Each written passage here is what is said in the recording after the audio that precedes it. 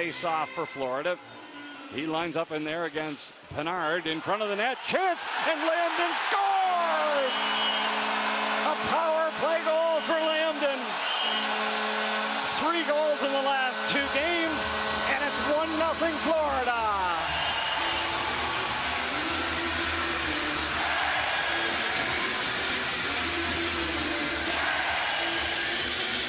Logan Lambdin doing great things when he drives to the net.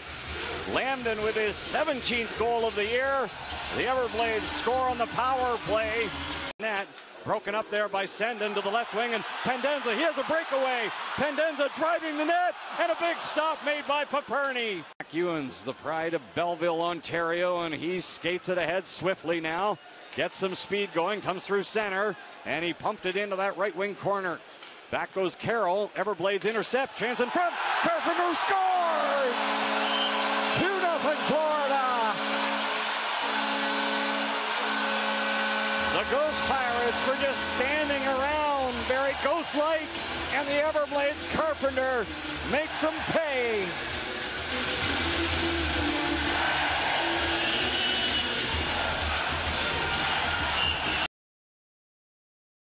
Far corner.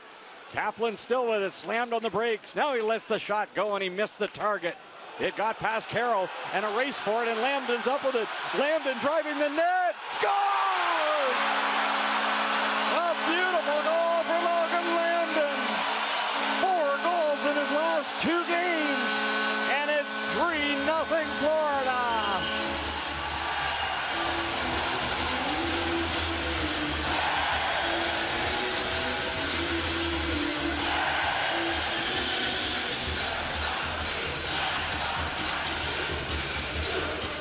Logan Lambdin. And Pendenza sends it down the ice as Savannah's net is empty. They have the extra attacker on. Pendenza trying to shovel it in front. Carpenter scores! Two on the night for Bobo Carpenter. And it's 4 0 Florida.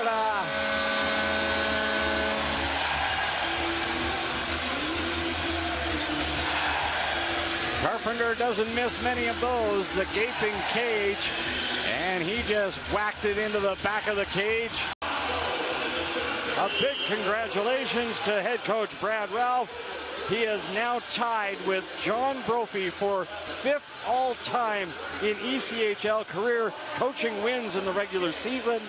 480 wins for Brad Ralph tied for fifth all time with John Brophy. What an accomplishment.